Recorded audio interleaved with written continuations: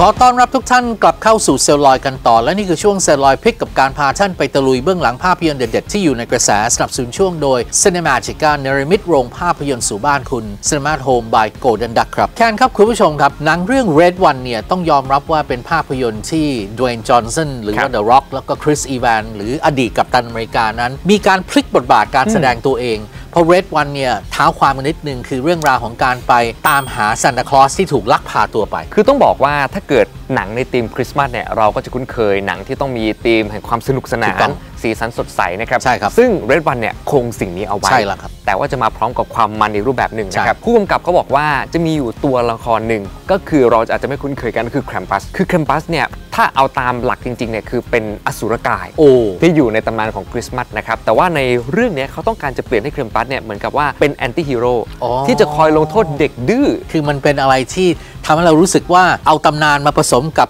อัตลักษณ์บางอย่างอืมหนังเรื่องนี้ตัวครัมปัสนั้นนำแสดงโดยหนึ่งในดาราจากภาพยนตร์เรื่อง Game of Thrones นั่นคือคริสโตเฟอร์ฮิฟยูนั่นเองครับการมีตัวละครครัมปัสบวกซานตาคลอสและนางคลอสหรือว่าอืมภรรยาของซานตาคลอสก็ถือว่าเป็นการสร้างสีสันให้กับภาพยนตร์เรื่อง Red One ครับ วันนี้มีเบื้องหลังมาฝากกันนะครับ ติดตามกันเลยในช่วง Celluloid Pick สนับสนุนช่วงโดย Cinematica เนรมิตโรงภาพยนตร์สู่บ้านคุณ Cinema Home by Golden Duck ครับ ช่วงเซลลูลอยพิก สนับสนุนโดย Cinematica เนรมิตโรงภาพยนตร์สู่บ้านคุณ Cinema at Home by Golden Duck Evening, ladies. What are you so excited about? Of course, your boyfriend's here. Callum Drift is the head of the Secret Service to Santa Claus. Who's with Red? Bridge! We're gonna find him. Jack O'Malley, he's lost that Christmas spirit. He's needed because he's a world class tracker. Welcome to the North Pole. Come again? These two characters had a fun electric friction between them. I can tell right away. Out of everyone here, I like you the least. You can't trust this guy. He's NL4. This clown is a level 4 naughty lister. A level 4 naughty lister? Is that funny to you? What are we doing here? It's so easy to have chemistry with Twain. He's an incredibly giving actor. You're like the bodyguard for Santa Claus. I'm the commander of the ELF. What's that stand for? Extremely large and formidable. Chris, who's got the talent, got the looks, the sense of humor. We had a great time on this movie. Ah! My turn! Is my face still there? Yeah, yeah, you look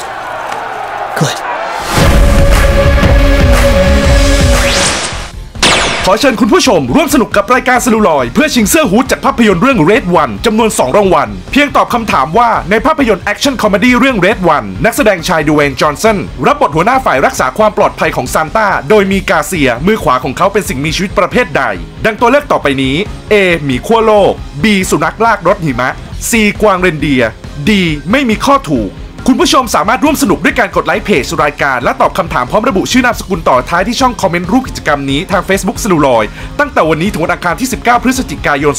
2567 สำหรับผู้ที่ตอบถูก 2 ท่านเท่านั้นจะได้รับของรางวัลสุดพิเศษนี้ ทางรายการจะประกาศรายชื่อผู้โชคดีทาง Facebook สนุลอยวันพุธที่ 20 พฤศจิกายน 2567 ครับ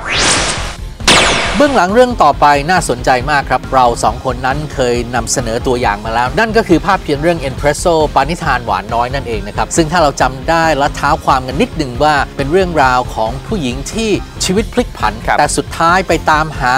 บางอย่างในจังหวัดเชียงราย และทำให้เธอนั้นไปค้นพบตัวตนของตัวเธอเองขึ้นมาครับ ต้องบอกว่าเรื่องนี้เขาเน้นในเรื่องของฉากสถานที่ท่องเที่ยวนะครับ ก็ยกกองไปถ่ายทำหลายที่ทั้งที่ราชบุรีแล้วก็ที่เชียงรายครับความต้องการเนี่ยคืออยากให้สถานที่เหล่านี้เป็นอีกหนึ่ง landmark สำคัญเพื่อส่งเสริมการท่องเที่ยวด้วย โดยเฉพาะที่เชียงรายเนี่ยเพิ่งจะผ่านน้ำท่วมมาใช่ครับก็อยากให้คนไปเที่ยวกันเยอะๆนั่นเองครับถูกต้องครับวันนี้เรามีสกู๊ปพิเศษสัมภาษณ์นักแสดงมาฝากกันนะครับติดตามกันเลยครับในช่วง Celluloid Pick สนับสนุนช่วงโดย Cinematica เนรมิตโรงภาพยนตร์สู่บ้านคุณ Cinema Home by Golden Duck ครับ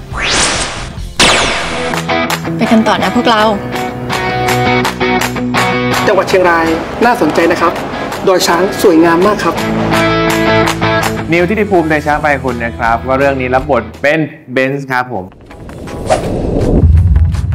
เบนซ์เนี่ยเป็นคนที่แบบจริงๆแล้วเป็นคนที่เอ่อถนัดเกือบทุกอย่างเลย แต่ว่าถามว่าเก่งอะไรไหมไม่ได้เก่งอะไรสักอย่างเลยครับผมแต่ว่ามีความสามารถพิเศษครับผมก็คือ ชอบดูแลคนอื่นเอ่อซึ่งแล้วก็เปิดร้านกาแฟด้วย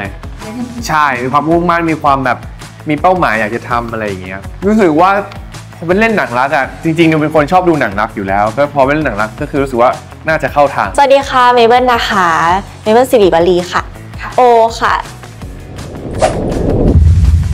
character โอนะคะ ก็จะค่อนข้างนิ่งค่ะ แล้วก็เอาง่ายๆไม่รู้ใจตัวเองค่ะ อาจจะมีแบบ ความรู้สึกที่ไม่เข้าใจตัวเองค่อนข้างเยอะค่ะว่าแบบเอ่อความรักคืออะไรอะไรประมาณนี้ค่ะ ความน่าสนใจของเรื่องมันคือความคอนทราสต์กันระหว่างพระเอกกับนางเอกที่แบบพระเอกคือแบบมีความแบบรักมากรู้สึกอยากจะดูแลเขาส่วนนางเอก มีความรู้สึกเหมือนแบบเอยอยากเข้ามาอึดอัดยิ่งเข้ามายิ่งทำให้แบบสเปซฉันน้อยลงอะไรอย่างเงี้ยผมรู้สึกว่าเป็นความคอนทราสต์ของระหว่างแบบทั้งสองคนค่อนข้าง introvert เพราะรู้สึกว่าแบบไม่ได้อยากรบกวนใคร แล้วก็รู้สึกว่าไม่มีไม่ได้มีใครเข้าใจเรา เขาจะรู้สึกว่าต้นไม้คือเพื่อนที่ดีที่สุดของเขาแบบเขามีอะไรเขาก็จะเล่ากับต้นไม้ ไม่มีใครที่จะเข้าใจเขาเท่าตัวเขาแล้วก็เพื่อนรักของเขา อ่านครั้งแรกรู้สึกว่าบทแบบน่ารักค่ะ แบบองค์รวมของเรื่องอะน่ารักมากค่ะ พูดตรงๆว่าหลายที่ที่ไปเนี่ยไม่เคยไป แล้วก็รู้สึกว่าเป็นที่ที่แบบเฮ้ยมันมีมันมีอยู่จริงในประเทศไทยที่แบบเฮ้ยเฮ้ยไม่ไม่เคยรู้มาก่อนเลยอะไรเงี้ยอืมชอบซีนที่แบบเวลาเฉลยอะไรเงี้ย คนนี้ผู้ผู้ชายคนเนี้ยมันอยากดูแลผู้หญิงคนนี้มากคือแบบรู้สึกเป็นห่วงมากอะไรเงี้ยคือแบบผมจะแบบทัชอะไรพวกนี้ง่ายๆครับหนูขอเปรียบเป็นมอคค่าแล้วกันค่ะ เพราะว่ารู้สึกว่าตัวเองก็จะเขาเรียกอะไรนะคะ หนูถ้าในมุมมองของความรักใช่ไหมคะ ก็จะรู้สึกว่าตัวเองก็ค่อนข้างเป็นคนที่แบบกลมกล่อมกลมกลมเหมือนมีรสชาติโกโก้ที่แบบมากลมกล่อมรสกาแฟให้มันนวลขึ้นอะไรประมาณนี้ค่ะ เขาเรียกว่ายูสุยูสุแล้วก็ใส่ยูสุใส่กาแฟลงไปเพราะว่ารู้สึกว่าชีวิตจริง ๆ ชีวิตความรักมันมีแบบหลายรสชาติครับผมมันมีขมมีหวานมีเปรี้ยวมีอะไรเงี้ยคือแบบมันมีหลายรสชาติครับ วันใดที่ใจร้อน กลับมานอนในบ้านหลังเก่า ฉันไม่ใช่บ้านหลังใหญ่ ไม่มีอะไรให้พักพิง ความรักที่แท้จริงมันมีพลังในตัวมันเอง ถ้าเกิดเรามอบให้ใครสักคนสักวันหนึ่งเขาต้องสัมผัสได้ครับว่า ความรักที่เรามอบให้เนี่ยมันจริงใจแค่ไหนเพียงคุ้มครองเธอจากสิ่งพี่ถามจริงๆเหอะ เราเหนื่อยไหมล่ะ ผมมีคำตอบบางอย่างที่อยากจะได้จากโอครับแต่จะเป็นหลังคาให้ทุกเวลาที่เธอเหนื่อยล้า ช่วง Celluloid Quote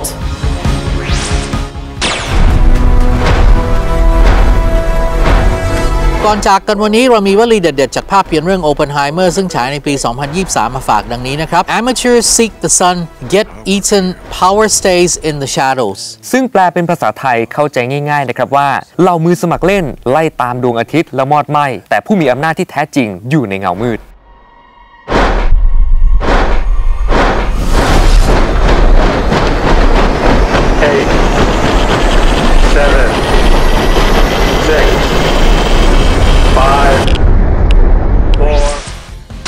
ผู้ชมครับแคนครับ หมดเวลาแล้วครับ ทั้งหมดนี้เป็น 30นาทีแห่งสาระความรู้ที่ครบทุกมิติของโลกภาพยนตร์และบันเทิงในรายการเซลลอยกับผมวิทราและคุณแคนอติรุธครับ เราสองคนนั้นจะมาพบกับคุณผู้ชมทางบ้านทุกเช้าวันอาทิตย์ เวลาดีๆ แบบนี้ 11นาฬิกาโดยประมาณทางช่อง True4U หมายเลข 24 แห่งนี้ครับ ใครที่พลาดชมรายการไปนะครับ สามารถไปดูย้อนหลังกันได้นะครับ ทาง YouTube Channel Celluloid TV Show ครับ มี Facebook ด้วยนะครับ ชื่อว่าซิลูลอยนอกจากนั้นเนี่ยเรามีทาง X และ Instagram Celluloid TV Show ยังไงฝากกดติดตามกันด้วยครับวันนี้ขอขอบคุณสถานที่ถ่ายทำสวยๆ แบบนี้นะครับ Enigma The Shadow Screen นะครับณโรงภาพยนตร์ Paragon Cineplex ด้านศูนย์การค้าสยาม Paragon นะครับวันนี้ขอขอบคุณเสื้อผ้าพิธีกรของเราทั้งคู่จากทาง CC Double O ครับวันนี้ขอให้ทุกท่านพักผ่อนยังมีความสุขสุดสัปดาห์หน้ากลับมาพบกับเราสองคนได้ วันนี้เราสองคนขออนุญาตลาไปก่อน สวัสดีครับ สวัสดีครับ